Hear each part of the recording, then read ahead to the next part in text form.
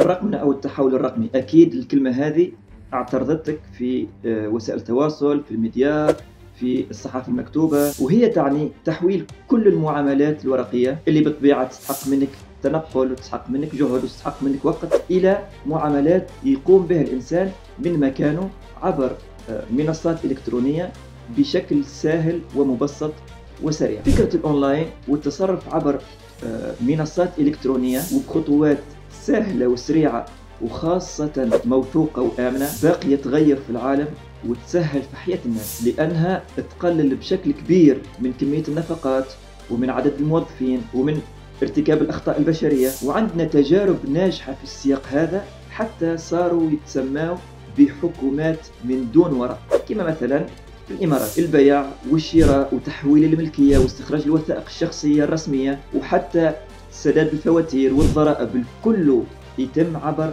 منصات إلكترونية بضغطة زر واحدة. صحيح الرقمنة تحتاج إلى بنية تحتية قوية والاستثمارات في سرعة الإنترنت وتهيئة الإدارات والفضاءات العمومية وتكوين الموظفين باش يكونوا ذوي خبرة. لكن يلزمنا نعرفوا أنه خسائرنا من غير الرقمنة أعلى برشا من مصاريفنا لو أنه نقتحموا الباب هذا. وهكا نفهموا أنه الرقمنه ماهيش مجرد خيار بل يلزمنا نتعامل معاها على أساس أنها أمر حتمي يلزم يصير اليوم قبل غدو